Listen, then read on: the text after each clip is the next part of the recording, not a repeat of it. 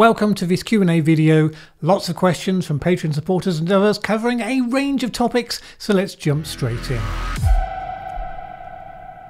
Okay, given the events of the last week, it's not a surprise we have a couple of questions on this topic. Being a non-partisan UK citizen and reflecting on the passing of Queen Elizabeth, which would be your top arguments for keeping and abolishing the British monarchy? And then also, what are your thoughts on the head of state role if Britain becomes a republic? Would be a ceremonial role or executive? and elected or appointed. So, look, nothing has quite illustrated how knotty a problem this is than the events of the last couple of weeks with the death of the Queen. I think there is an excellent case to be made that Queen Elizabeth was the best head of state the country could have asked for over the last few decades, maybe the best any country could have asked for, in that I'm not aware of any country you could point to where that role had been done better. What she brought over time was growing experience. She'd met all the world leaders, including a fair few of the rogues. She would endlessly ask them about their perceptions, impressions of each other and events and so on. And then she was able to meet privately with the Prime Minister and bring all of that growing knowledge and human wisdom to benefit their own reflections on what they might do, without ever actually telling them what they should do, must do. Once you have a system of democratically elected heads of state, then they have a mandate to do more. Necessarily, they become partisan figures, and they also therefore become much shorter term figures because they get voted in, they get voted out. So I really do get the argument that the constitutional monarchy has demonstrated superior value over the last seven decades. But you have to avoid falling into the trap of thinking that a person is the same as a system. The flaw behind the monarchy is that there's zero choice. Some people were saying years ago they didn't like Charles. They thought the role should skip a generation and go straight to William. Well, did you notice? That didn't happen because what you think about it is not relevant. The system doesn't care. No, that's not entirely true. Queen Elizabeth adopted numerous times to waves of public sentiment. She certainly understood that if you fell too far out of step with the public, the system probably would not hold. So when Princess Diana died, the normal royal way of avoiding public displays of emotion provoked a huge backlash. So the Queen quickly decided to break with tradition and post a more personal message, and it worked. It won back some of the support which had begun seeping away. That suggests the system is vulnerable now. The first time you get to an incumbent without the skill to recognise what needs to be done, or someone who simply doesn't have the qualities to win back the support of a modern society. So, does that strengthen the argument for hereditary monarchy or weaken it? Kind of take it either way. The advantage of hereditary monarchy is you know well in advance who's next in line, as well as next after that, and they spend a lot of time being prepared to take the role. So by the time they do, they should have a lot of the skills and the experience that they need to do it well. The disadvantage remains what I said it was you don't have a choice. How much time would King Harry need to become a good monarch? Sometimes people just don't cope with the weight of expectations and they simply fail, and then you have no system for getting rid of them. That's the other side of it. It's a brutal system to throw people into. The fact the Queen did such a good job of it rather masks the fact that being over analysed and gossiped about while you can't publicly respond, all of those things are actually really tough. So I'm really quite torn on this one. Could you have a similar figure in a republic? Someone who was appointed because of their experience and good standing, with no real power save as a constitutional backstop should democratic systems fail? I guess the nearest thing to it I'm aware of is the Irish presidency. The President of Ireland is elected directly from the people for a seven year term. He or she can run for just two consecutive terms. It's largely ceremonial office, except that the President acts as a key representative of the Irish state and acts as the guardian of the Constitution. He appoints the government, accepts their resignations, as indeed the British monarch does. He doesn't have the right to refuse to appoint the nominated Prime Minister. The British monarch technically could. It would create an instant constitutional crisis if they did. But although they don't tend to be highly partisan divisive figures, the Irish presidents do tend to be politicians. So the current president, Michael D. Higgins, was a minister with the Labour Party. As president, he's focused on issues concerning justice, social equality, social inclusion, anti sectarianism, and anti racism. The British monarch is expected not to promote causes, certainly not contentious, politicised ones. There is a big open question right now about whether Charles can restrain himself, having devoted his life to promoting various causes, including on climate change. Whether he will be accepted doing some of that, so long as it avoids any specific partisan elements. Could a system like the Irish one be tweaked to nudge it a little more into the non political territory? I can't quite imagine it, but maybe. I don't know. Am I missing the ideal model that already exists in the world somewhere? If you think I am, let me know in the comments below. Next question. Have you ever been tempted, or done so, to stand for Parliament? I stood for Parliament in the 1992 general election. Now, this was back in the days when I was still with the Greens, so no likelihood of actually getting elected there. In fact, I stood in one of the six constituencies in Sheffield, and because I was a principal speaker with the party, I was put into the constituency that was going to be the tightest contest. So that was going to squeeze our vote more than the others, where they were mostly safe Labour seats. So I was guaranteed the lowest vote out of the six. The thinking was that because of the tightness, the contest would get all of the local media attention, which it did, and if I did well enough, then it might boost the performance of the other candidates. Bearing in mind, boosting performance in those days for the Greens might aspire to the giddy heights of actually saving your deposit, which you have to get 5% to do. Don't know whether I succeeded in that or not, because we can't rerun the election without me to find out. But that was all a very different time, a very different world, and certainly a very different Mallen. Would I be tempted to stand for Parliament again now? No. Thing I learned by dallying with politics is that I'm not built for the partisan bunfest that you have to engage in to be successful in politics. I mean, it's good that some people do it, it's good that good people decide to do it, but you need qualities and skills different to the ones that I have. Or maybe I'm just too self indulgent in being critical of any and all sides equally. Frame it how you like. I'm doing a YouTube channel where I'm trying to make a virtue of looking for the facts and going where they lead, regardless of who that pisses off. That suits my natural mindset. That's a mindset I would have to give up if I wanted to use the opportunity to actually get into politics seriously and make it a difference. Frankly, there's enough politicians trying to do what you have to do to be successful there. I'm seeing dishearteningly few people, I mean, really, focused on a non partisan take on the current changing world.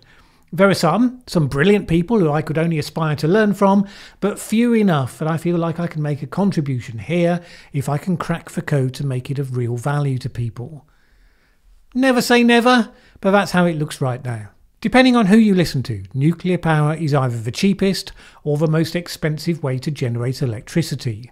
What is the truth? People get confused about this because it's the most expensive to build a lot of the cost of nuclear is front loaded because it costs a huge amount to build a modern large scale nuclear power plant compared to anything else. So if you're only thinking relatively short term, you see that big price tag, you're tempted to go elsewhere.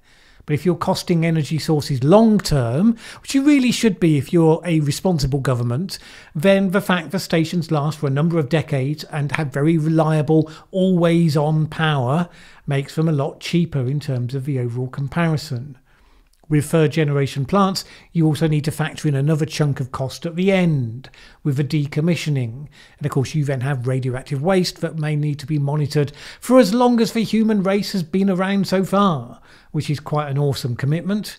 Fourth generation plants promise to solve some of those problems, especially on the waste side. But in the short term, because they are the first instance of the technology, those costs will be higher.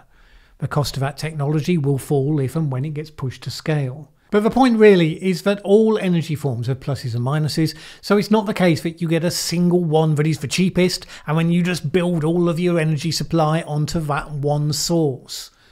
While cost is important, obviously, we shouldn't assume that the cost, short or long term, is the sole factor, or indeed that it stays the same, as we found with gas.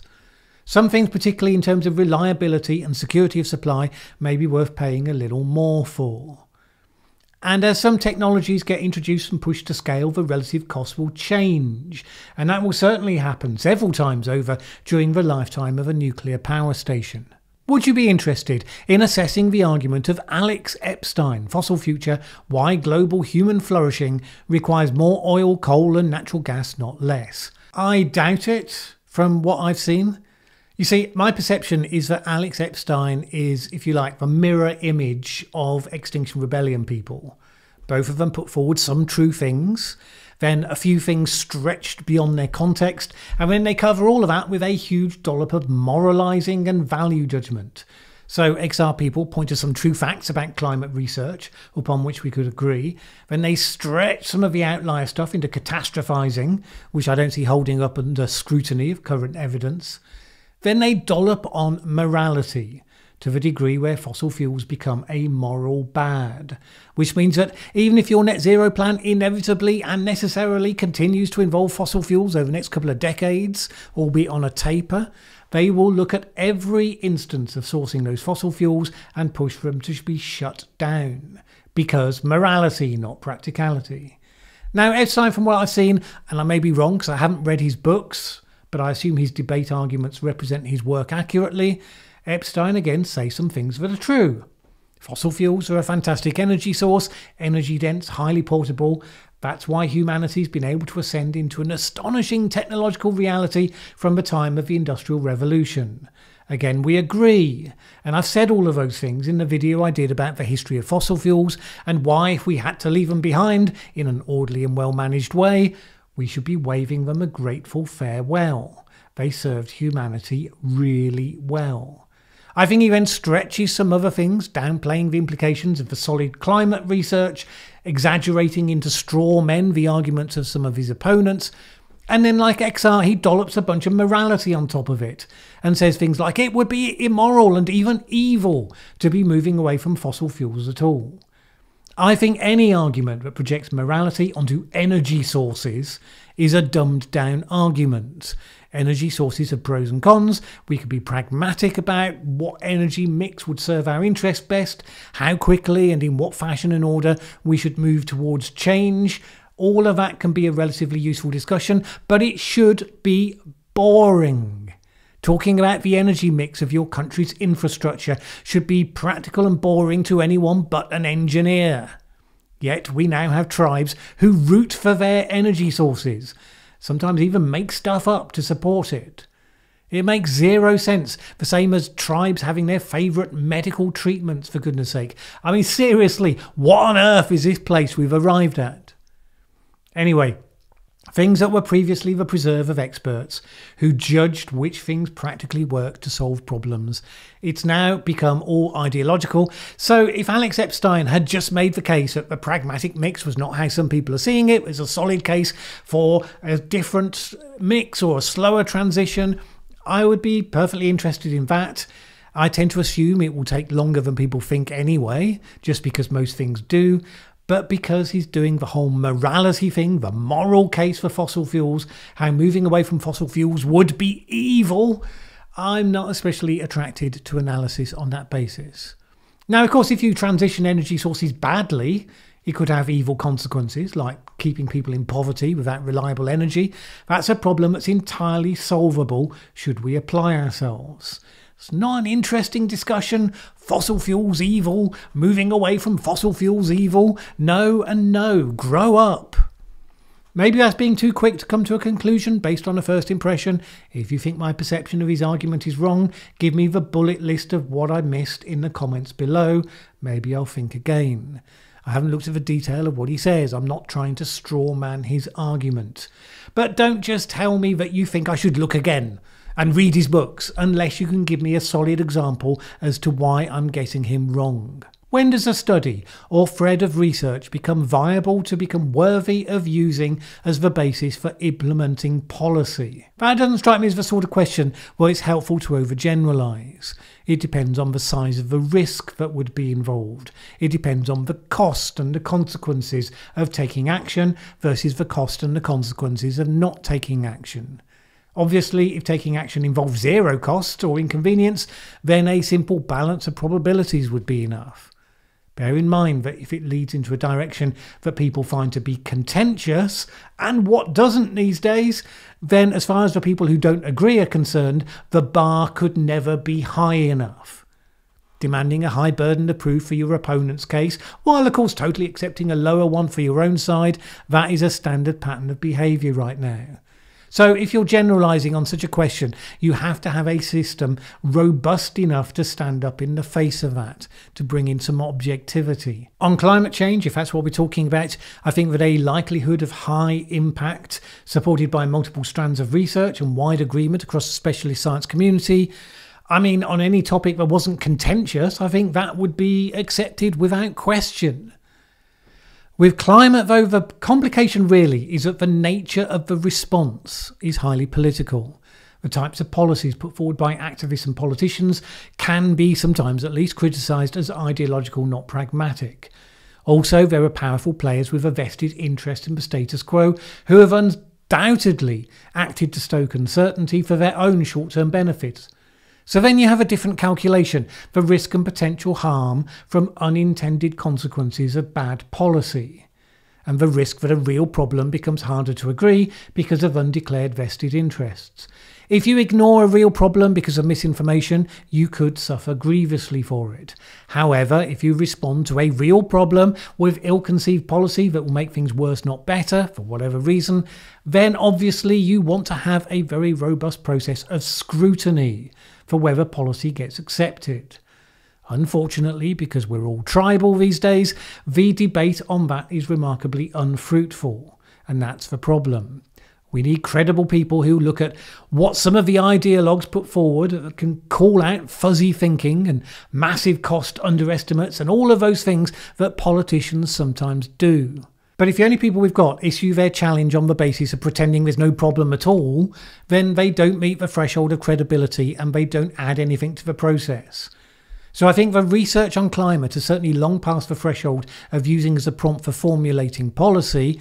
What uncertainties remain there are points of detail, not of substance, but it doesn't become the basis for implementing policy because while the science can tell you what policy goals you might have, net zero emissions, for instance, it doesn't tell you what policies you should use to get there.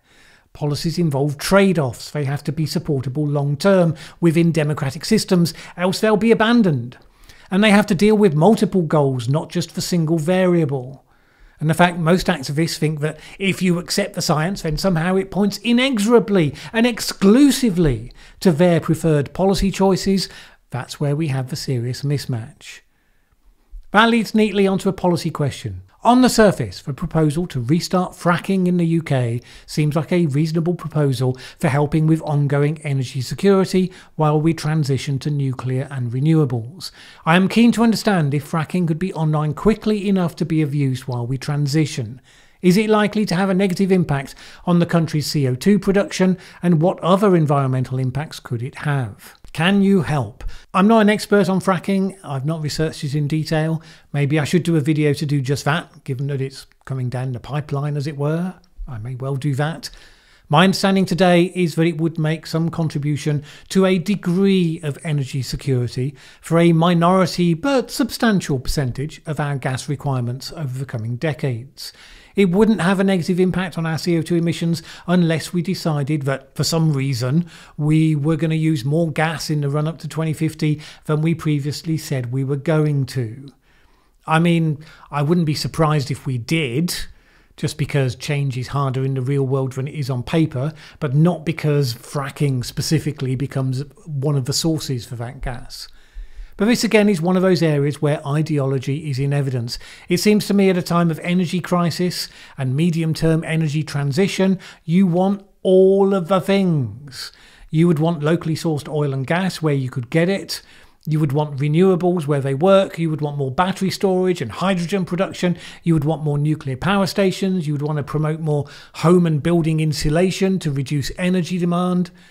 Getting the mix of those should be a practical exercise, as I said before, an engineering task of weighing pros against cons, things that can come on stream relatively short term versus things that will provide best value long term. All of it.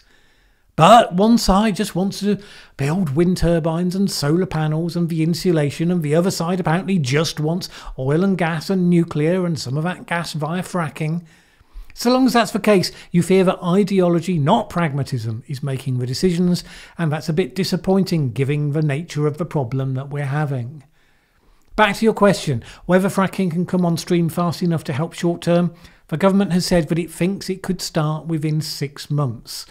General principle, these things always run later than politicians say they will. Let's call that 12 months.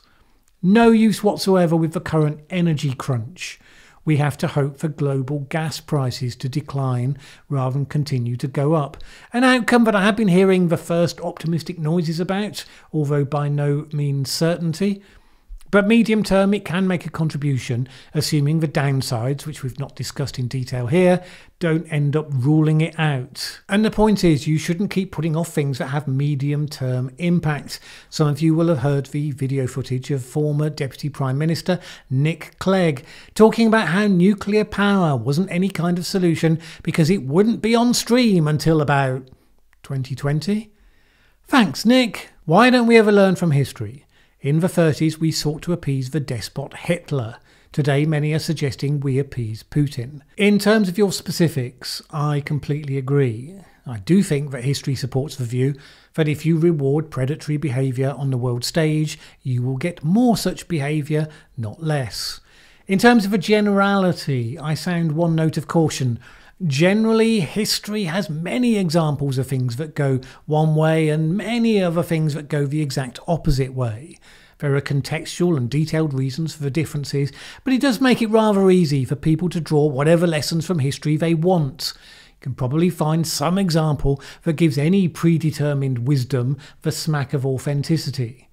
I mean, you could go back to the times of Genghis Khan and note that the cities that surrendered quickly to the Mongol hordes were often treated relatively well, while those who fought were slaughtered mercilessly. You could draw from that that when a powerful neighbour attacks, you should recognise when you're outgunned, concede quickly and gracefully. We would say, well, sure, if you're happy to live in an ugly, might makes right world where big players just take whatever they want, but then that's the world Putin believes in and wants Russia to be dominating once again. So, yes, he can draw his lessons from history just as much as we can. I do think we can learn from history. I just think we need to do it with more attention to the detail and caution than people tend to bring to it. Could someone say in one minute why Netherlands hates nitrogen so much, without justifying how they're going about addressing it, because I'm certainly not doing that. Let's have a go. The Netherlands is a small, highly densely populated country, a huge amount of agriculture that exports a lot of food to the world. That means the impact of that production is concentrated into a small space. Nitrogen is a key nutrient for plants, but where it runs off into the environment, it's also a pollutant. In lakes and coastal areas, it creates algal blooms that kill marine life. Nitrous oxides from livestock urine and manure react in the atmosphere to form aerosols that damage foliage, cause acid rain, which acidifies the soil, which then isn't good for crops. Farmers in the Netherlands have to add significant quantities of lime to the soil to fight the resulting acidity. Is that a problem that requires you to shut down a third of your agricultural base? You would think there would be alternative approaches. But let's be grown up about it. No politician is going to voluntarily jump into that sort of hot water unless there's at least a real problem that needs solving. Are you concerned about the online safety bill? Toby Young says it's a huge blow to free speech, which is often a topic for you, but I don't remember you commenting on it. I did talk about it some time ago when it was still called the Online Harms Bill. So, for others, this is a UK bill, but he's trying to reduce some of the negative impacts of social media. But of course, it's very hard to do that without those pesky unintended consequences. They framed this concept of things that social media companies should remove on pain of huge penalties, which is legal but harmful. When justifying it, they're talking about trying to protect, for example, vulnerable teenagers against things like self harm and suicide content. But of course, then there's a lot of people who are only too aware of how every social justice warrior would define harm in a very different way and are worried that it would provoke social media companies keen to avoid those grievous penalties into being much more restrictive on anything controversial, just to be safe. Now, I haven't said much about that recently because there's been quite a bit of unease about the bill on the right of the Tory party for obvious reasons, and there's now a new government. And there's been a lot of talk about how the bill should be and is likely to be fixed before it goes forward. Toby runs a campaigning free speech organisation, so of course he's being highly visible on how bad it could be. It'll be something he can claim as a campaign success if it's duly amended, so that's what you do as a campaigner. For me, I'm now waiting to see what actually comes out in the process, in reality. I think it's highly likely to be amended into a more neutered form. If not, you can certainly expect me to be covering it in the future. By the way, I can tell you another blow to free speech. This week we discovered that PayPal has cancelled the accounts of the Free Speech Union, Toby Young personally, and his Skeptics website. I expect I'll have more to say on that on Friday, but it seems like a highly aggressive move against an organisation that simply defends the right to free speech regardless what the person concerned was arguing for or against. Hi Mallen, you've stated a few times that most UK elections have been decided on competency. One leader was clearly more inept than the other, and that decided things. Early days, of course, but what are your impressions of Truss versus Starmer? As you say, early days, it clearly depends on the next couple of years. Liz Truss has the opportunity to impress the country by showing she can get a grip, which would be quite a strong contrast to the chaos that came before. If she does that, she may well win enough support to hold the line, although she won't get anything like the majority that Boris Johnson got at the point where the country was reacting strongly against a parliament that had been trying to thwart the 2016 Brexit referendum. And that's an open question. She hasn't had any time as leader yet. When Margaret Thatcher first became leader of the Tory party, nobody had an inkling of a leader she was going to become. However, if perceptions don't change, then we end up with two candidates, both of whom come across as relatively underpowered. This has happened before. John Major versus Neil Kinnock, second time round, was a case in point. That particular election behaved differently with a lot of uncertainty as to who would win. Labour apparently ahead most of the time, but then right at the last minute it switched and elected John Major with a very narrow majority. If Truss fails to impress, we could well end up with another hung parliament. Only this time the Liberal Democrats would be highly resistant to forming a government with the Conservatives because their party got trashed in the aftermath of the last time they did it. And then you get the question of whether Labour does a deal with the Scottish nationalists with the obvious price tag that they would want to bring, which Labour would probably be very reluctant to pay, since if you remove Scotland from the UK, you pretty much guarantee Conservative majorities from that point onwards. Of course, Liz Truss could go the opposite way and do so badly the country turns against her, thereby delivering Labour its first majority since Tony Blair. The thing is that Blair's front bench looked like a government in waiting. This one doesn't, although it's better than it was. So I don't think that it forms a majority. Interesting times for sure. Hi, Mallen. Lately, you've taken to confidently predicting imminent civil war in the USA. Do you mean this metaphorically? Is the UK headed in the same direction? It's not quite right. I've certainly said that the US has largely worked its way into the Civil War mindset, and the potential critical inflection point is looming with the 2024 election, depending on who stands and how it goes. I also said this problem will only be resolved either by civil war or by a similar political conflict. It doesn't have to be war maybe an attempt to succeed by a group of states, maybe a constitutional crisis that leads to the rapid rise of a third political force, various things that could happen. But you'd expect that civil war mindset isn't just going to melt away. It has to be some form of conflict and resolution to create a new political settlement. A new constitutional understanding of something that is built on common values, or else the country finally splitting into two. I mean, if the states held a referendum and voted by a significant majority to succeed, then presumably that is what would happen. But look, you have a real danger point coming. Trump's rejection of any election but doesn't have him winning is poisonous to the democracy. The fact that he's been filling various candidacy and official posts with people who are likewise declaring their faith in the stolen election narrative that leads you into some very dark waters. And not necessarily because they do something nefarious, but maybe because the other side becomes convinced that they did do something nefarious, and therefore they become the election deniers. Once trust collapses in the system, the system can't stand for long. What happens in your country if there's that total collapse in the system? If it doesn't gravitate to civil war, it certainly doesn't end well. But the shock of seeing how close it is might well shake people awake. I mean, let's hope so, because you won't like how the world looks once the dust has cleared after your civil war. There's a bunch of people poised to take advantage of your distraction to build a world order that suits them better, and you probably not at all. Now, enough people know that. Hopefully, it'll mean that you avoid diving into the precipice. Will it happen in the UK? No. We have some polarisation, nothing on the same scale. Our institutions are stronger. I mean, we've just been renewing everyone's commitment to the unwritten constitution with a 10 day obsession session. We might see conflict for sure.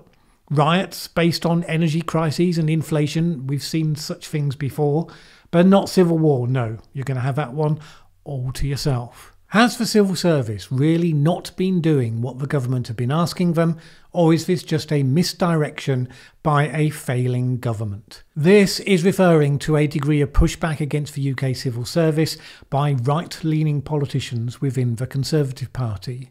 The civil service is supposed to be politically neutral, dedicated to turning into reality whatever the policies are that the governing party puts forward. The mark of professionalism is meant to be civil service neutrality. Now, of course, large bureaucracies tend to inefficiency, internal politics covering their backs. Human beings will also have their own preferences and more enthusiastically execute some projects than others. So, how much politicians can command the respect and loyalty of the civil servants is always a key question for any government. If politicians are inept or they so distrust their own civil servants that they treat them badly, they can end up floundering and unable to get things done. But if, on the other hand, they're too on side with their civil servants, they can end up being co opted by them into doing whatever the officials think must be done. They end up being the cover for what is actually unaccountable power. I would expect the truth is that there are some important instances where civil servants have been obstructive. Very few of them, by all reports, were brought into Brexit, for instance. Plenty felt strongly enough about it that it would have tested their commitment to civil service neutrality. So you could make a case why government might want to shake things up a bit, remind people that they're there to serve government, not the other way round. But again, if they do that badly, or if they hit random targets and take out good, experienced people for no good reason, then that could easily have the opposite impact.